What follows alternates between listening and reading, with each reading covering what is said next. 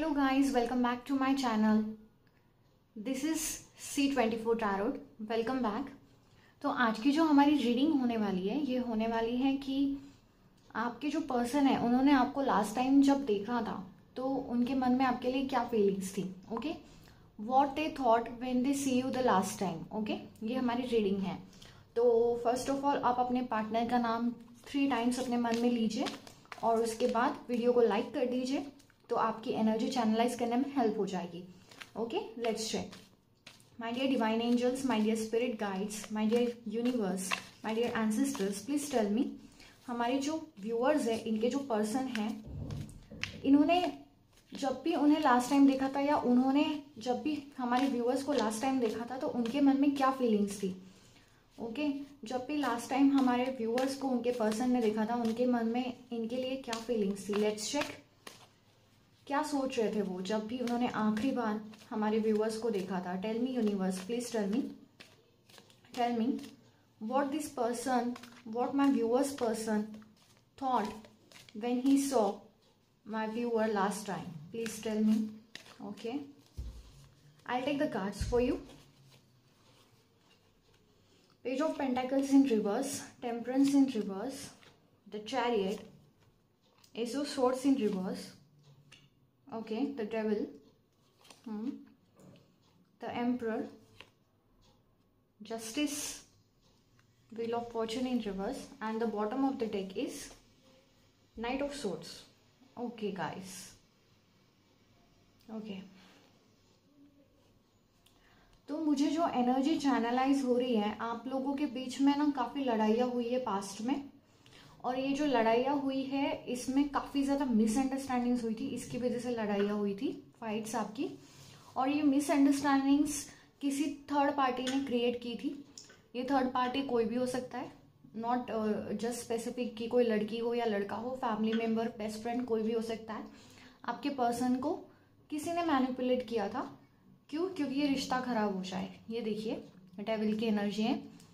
तो ये कोई जो थर्ड पार्टी है, इसने ना मैनिपुलेट किया है और मुझे यहाँ पे तो थोड़ा ब्लैक मैजिक भी नज़र आ रहा है या स्पेल किसी तरह का स्पेल कि जिससे आपके पर्सन मैनिपुलेट हो जाए और आपसे वो रिश्ता ना रखे या मिसअंडरस्टैंडिंग्स इल्यूजन स्पेल्स कुछ, जिससे इल्यूजन क्रिएट हो आप दोनों के रिलेशनशिप में और वो रिश्ता खुद ही ख़त्म कर दें।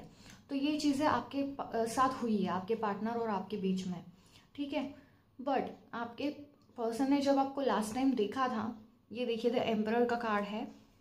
तो जो ये एम्पर का कार्ड है, ये ये बता रहा है कि आपके पर्सन ने आपको देखा, उनके मन में आपके लिए फीलिंग्स तो अभी भी है, चाहे कोई कितना भी मैनिपुलेट कर ले, कुछ भी कर ले, क्योंकि ट्रू लव जो होता है, उसमें कोई कितना भी कुछ कर ले फीलिंग्स कोई बदल नहीं सकता। हाँ भले ही एक टाइम पे आके कि सर्कमस्टांसेस की वजह से हम लोग वो रिश्ता नहीं रखते बट फीलिंग्स तो वही होती है उस पर्सन के लिए।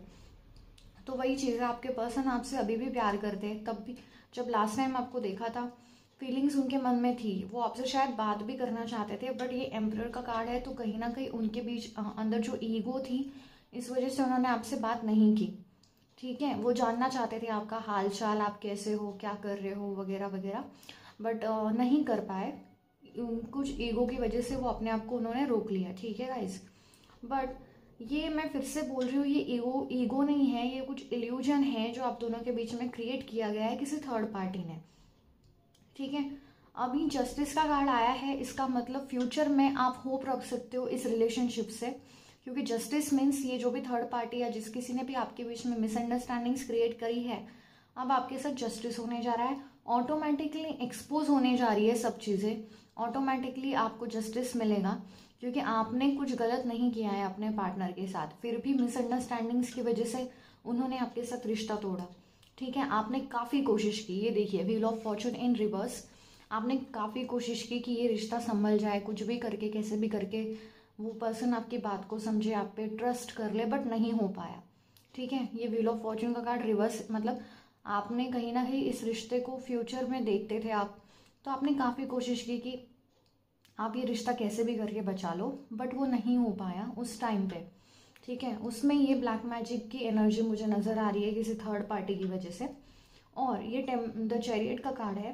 तो चैरियट का कार्ड इसका मतलब आपके पार्टनर ना उस टाइम पे काफ़ी कंफ्यूज थे, जब उन्होंने आपको देखा था लास्ट टाइम कि आपसे बात करे या ना करे करे या ना करे। करना तो वो आपसे बात चाहते थे, लेकिन अगेन ये टेम्पर टेम्परेंस और एम्पर का कार्ड है। तो कहीं ना कहीं ईगो की वजह से वो अपने आप को रोक लिए बट ये देखिए ब्लैक और वाइट दोनों एनर्जी हैं, बात करना भी चाहते थे बट उन्होंने नहीं की। कन्फ्यूज़न इल्यूजन अगेन ये स्पेल्स है कुछ आपके बीच में। टेम्परेंस का कार्ड इन रिवर्स है। आपने काफ़ी कुछ सहन करा है, ये इसमें दिख रहा है। आपने बहुत टाइम तक वेट करा है, बहुत टाइम तक। आपने काफ़ी पेशेंस रखा है इस रिलेशनशिप के लिए। आपने हर कोशिश करी है मुमकिन इस रिलेशनशिप को चलाने के लिए, और आप प्रे भी कर रहे हो भगवान से रात दिन, और कि कहीं ना कहीं वो पर्सन समझ जाए इस रिलेशनशिप को कि ये एक डिवाइन कनेक्शन है, आप हमेशा ये प्रे करते हो। बट इसमें उन उन पर्सन की कोई गलती नहीं है, किसी ने कुछ स्पेल करा है, इसकी वजह से वो इस तरीके से बिहेव कर रहे हैं। पेज ऑफ़ पेंटाकल्स का कार्ड रिवर्स है। तो कहीं ना कहीं इन सब सिचुएशंस के बीच में आपने अपने करियर को या स्टडीज़ को ना नज़रअंदाज किया है। आप काफ़ी डिस्टर्ब रहे हो। इस चक्कर में कहीं ना कहीं आपके फाइनेंसिस और स्टडीज़ काफ़ी मार खाई है, हम कह सकते हैं ये चीज़।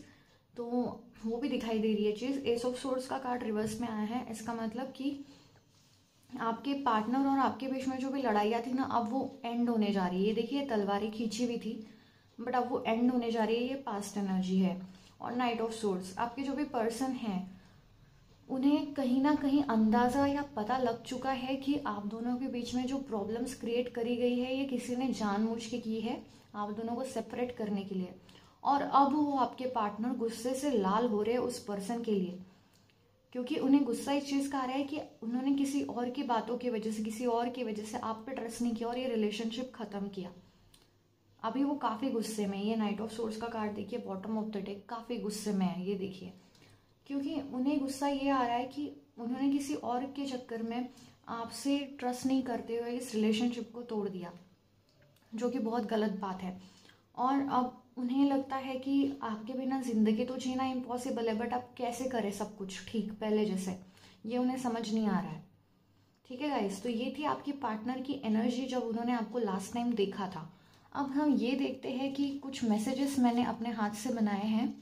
कि वो आपको डायरेक्ट मैसेज क्या देना चाहते हैं। ठीक है गाइस अगर रीडिंग रेजोनेट हुई हो तो ज़रूर लाइक करिएगा कमेंट करके ज़रूर बताइएगा। चैनल पर न्यू हो तो सब्सक्राइब कर लीजिएगा। अभी हम चेक करेंगे कि उनके आपके लिए कुछ डायरेक्ट मैसेजेस क्या है okay let's check my dear angels divine guides please मुझे बताइए, हमारे व्यूअर्स के पार्टनर उन्हें क्या डायरेक्ट मैसेजेस देना चाहते हैं? प्लीज़ बताइए ओके एक ऑटोमेटिक देखो फ्लाई होके आया है। इस पर लिखा है कि I can never forget you my love nice message वो आपको कभी भूल नहीं सकते। मैंने अभी वही कहा, किसी ने कितना भी भड़काए भड़काने की कोशिश की मैनिपुलेट की बट जो ट्रू लव होती है, उसकी फीलिंग्स को कोई नहीं बदल सकता। Next message I want to reach out but I am afraid देखिए, मैंने अभी जो लास्ट कहा था स्टेटमेंट की, अब उन्हें बहुत पछतावा हो रहा है कि वो कैसे ठीक करे सब चीज़ें, क्योंकि उन्होंने किसी और के बातों में आके आप पे ट्रस्ट तो किया नहीं और उस टाइम पे रिश्ता तोड़ दिया। अब उन्हें आप तक आना है, वही कन्फ्यूजन्स पे।